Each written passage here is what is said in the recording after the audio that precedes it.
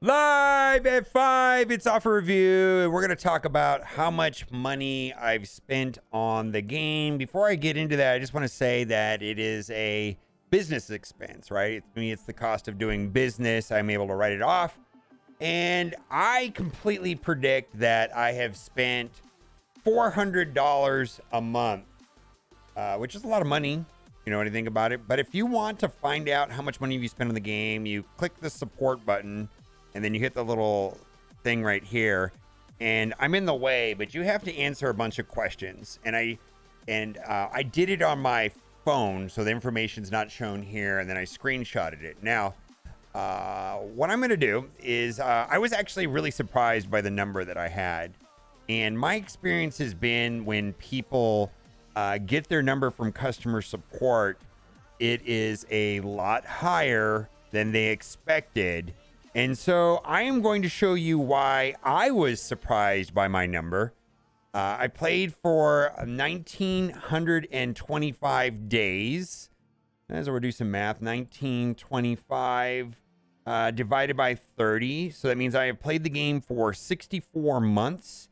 And I believe I've spent 300 or $400 a month times $400. So my best guess is that I've spent twenty-five thousand six hundred and sixty-six dollars and sixty-seven cents, and I was completely surprised that I had basically spent exactly that amount. Twenty-five thousand eight hundred fourteen dollars. I was off by like, what is that? One hundred fifty bucks. So, uh, and that's because I track everything and I'm pretty disciplined and everything like that. So that's how much money I've spent on the game. Uh, so that is about you know four hundred dollars a month, almost to a uh, very close, within like a, a, tenth of a percent or something like that. All right, let's get in with offer review. And believe it or not, there's actually uh, Reddit was pretty positive today, which is really strange. Uh, loving, love getting a random maintenance shortly on my screen. So what that was for was that they updated the game so that you can do imported squads. So you can load a code in and update your saved squads. And they give you instructions on how to do that right here. When you log into the website, when you click on your name, it has a save squads tab. And then you come in here and then you hit import. This is an import squads into this tab. Uh, first, get the import code you want to use.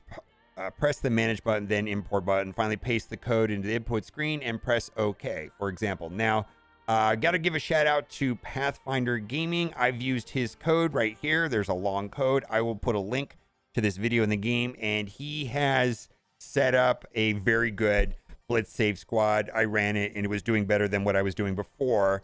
And oh my God, it was so simple, right? Um, I didn't find this process to be that simple or intuitive. Actually, I found it to be a little bit clunky, um, but it did work. I actually deleted like my raids accidentally before I could actually get my blitz one to work. So this is actually kind of a big deal. Now let's talk about uh, I hate Cosmic Crucible, 10 million punch up. Felt I played it well, but not confident victory. But why in Alabama heck is this Crucibles are decided? Why is TCP the factor? I actually think that TCP is a terrible choice. And I know that people say it should be the smaller or the higher. I don't think it should be a choice at all. I don't think the tiebreak. It's a dumb idea.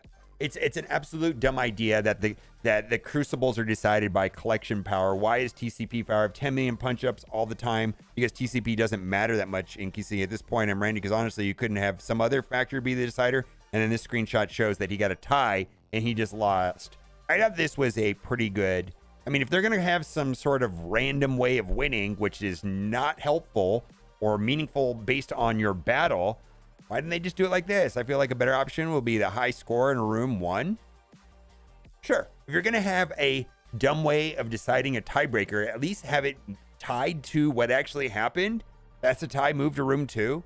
At least it's not just arbitrary favoring a player simply for playing the game longer, spending more money. I, yeah, this would be a million times better, in my opinion uh, if that tiebreakers were decided that way. and another thing too is like, wow, Reddit is not salty today, which is very interesting. And I, I actually got found this post to be refreshing, and I giggled a little bit. It's like, why are you here? Reddit's for salt and hating this game and just saying, you know, without having any reason to hate the game, really, because I do love this game. Uh, yet, you know, we, we, we a lot of times we uh want the game to be better, and so we voice our concerns, and, that, you know, oftentimes that's very negative, right? Uh, so I started playing the game in 2018 as something to do. I love Marvel. Only mobile game I've kept my phone for a week, let alone a year.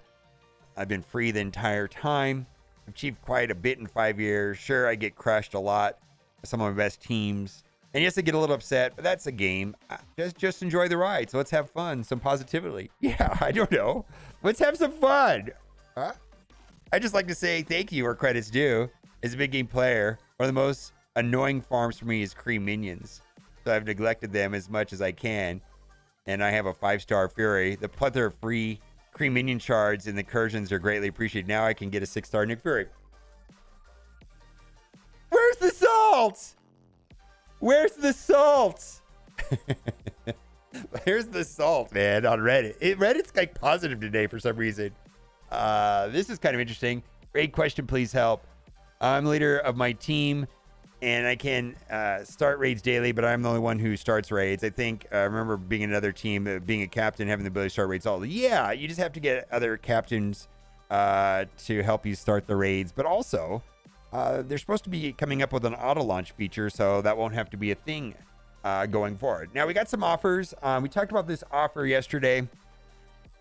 If you uh, get your magnifying glass out, this offer actually states exactly what's in it. Equal chances of 50 Hulkbuster shards, 100 Vision shards, and then a six red Hulkbuster, a seven red Vision, and a four star Vision. So for me, you know, I don't need uh, these three items here, uh, but I could use these two items. So it's just like if I want to purchase, you know, a six red Hulkbuster and a seven red Vision, you know, I could do that and have a random chance of getting, you know, 20, 20% of that, 20% of that. So 40% of what I want for five bucks. I, I might do that. I'm not really sure. Uh, it seems reasonable enough. Uh, this offers a little bit disappointing to me because on the 20th, we're going to have a gold orb opening, a glorb I, gold orb opening. It's kind of hard to say. Uh, million gold for 10 bucks. And uh, we got some training meals. There's nothing super special about this, but uh, dark promotion credits are in high demand. Uh, if you're a purchaser of Leets, uh, they typically try to sell in a, six for like 75 bucks. Well, this is half of a six and a whole five. A five they usually try to sell for 35 bucks. I'm not going to buy this, but I think people that purchase, I feel like the value of these has dropped a lot. Like, I don't know what I would I don't even know if I paid $10 for this, to be honest with you. All right. And then I thought this was pretty good. Spider-Man uh, 2099. Not really being used as much anymore in the arena now that we've got Apocalypse, but still a very important member inside of Cosmic Crucible, and that's super annoying. Uh, room 5, right? Cheater Room 5 with Eternals and Tangled Web. Yuck, yuck, yuck. Anyways, 50 character shards for $5, and you get some other useful goodies. I mean, this stuff is useful, right? And then we've got another one. So uh, I don't know what the dark promotion credits are valued at. I, I haven't figured that out, the math on it. But this is uh, not especially great. I put this about two and a half dollars, and then Scopely values seven hundred fifteen thousand of these at a hundred bucks. So twenty five thousand is not like a super meaningful amount, but you need uh, 715,000 to take a single character from Blue ISO 3 to Blue ISO 4. But anyways, if you're looking for dark promotion credits, and uh, another offer here again, um, you know, I think this. Let's see. I think this one is a little better than this one right here. so it's toggle between these two. Oh, we got 1 million and 200. This one is 1.5 million, 150. So if you're looking for more gold, you have two different choices. This one will give you more gold, and that one will give you more training materials. So consider that. And then this is, uh, you know, this kind of annoys me. Uh, Bendable Straws opened up a bunch of these and got next to nothing and yet it says earn up to 5 million T2 level 5 ions. I mean, that's like a 1 in 2,000 chance. Uh, and uh, there's a chance you get nothing out of this. Like, this is a complete garbage. I think Bendable spent like 100 bucks on it, and I showed the clip, and it was not good. Uh, the problem I have with this is in game, if you click on this orb, it doesn't tell you what the contents are. You have to back out of this the, the offer screen and go into the orb screen and click on it to find out how bad these orbs are. They're atrocious. Anyways, I don't recommend this offer, and it's also annoying that you can't just click on the orb and see the the drop rates. Uh, terrific team offer. So this is going to be useful for uh, the Archangel Scourge, typically the Ravagers uh, Ravager minions were the best ones on the, the first two nodes of the Ravager Scourge. Uh, they're not really useful anywhere else. Uh, not really. Um, you know, they, they've, they've actually been pretty disappointing inside of even War. They had a narrow window where they were useful. Talked about this a little bit yesterday. Uh, Avengers team now. Uh, these characters are kind of spread apart, different teams now. They're not really like Wave One Avengers anymore. Largely, Hawkeye and Black Widow are benched. Thor's on Heroes X Guardians, uh, Hulk's on Gamma, and now Captain America's on Rebirth. And then we've got another team right here, uh, which will help you out with the Archangel Scourge and also the raid nodes. Kind of pricey, but you know, if you want to get this team up and running. And then lastly, I'm thinking about buying this, but I think this is the best pricing I've seen on Agatha. The problem I have with this is twofold. Uh, she's been out for a year and they're milking every penny out of Agatha. And it seems to me that I pulled a seven red Agatha uh, when she came out, and I have not had the yellow stars. And I'm just kind of dragging my feet. It's like, do I really want to spend 20 bucks to get 200 shards and then be done with her? I, feel like a character should be farmable